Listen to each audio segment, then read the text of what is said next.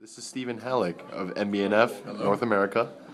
So this, you have our, our newest machine. This is our legacy machine, number one. Uh, so everybody was expecting HM5, something along the lines of this. You know, our typical really crazy uh, stuff.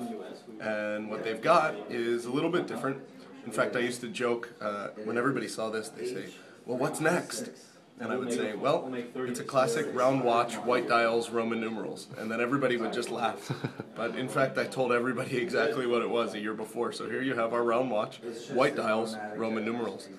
Um, the idea is what, what would we have made a hundred years in the past? It's kind of our three-dimensional machine homage to a 19th century pocket watch.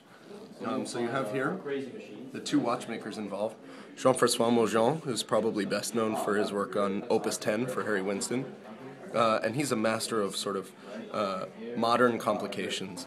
And then you have Kari Voutilainen, who's like the world's great independent watchmaker. He makes 20 watches a year by hand, all super perfect, classic. Um, and his background is in restoring all of the most amazing uh, old pieces. So he's the real expert. Um, so you have basically a very classic looking movement, sweeping bridges, the uh, gold chatons with the rubies, in very, very traditional and incredibly high quality finish. Uh, but then you notice that there's no balance wheel. And this is where we get into a three dimensional machine. So here you have your balance wheel suspended on a bridge over top of your dials. So you have basically two pocket watch dials.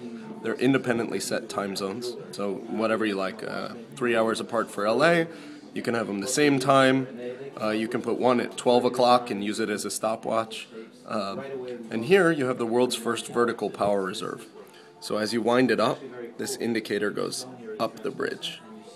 Uh, and uh, this is our legacy machine number one. It's a it's a real melding of past traditional horology and current sort of contemporary horology. Wow.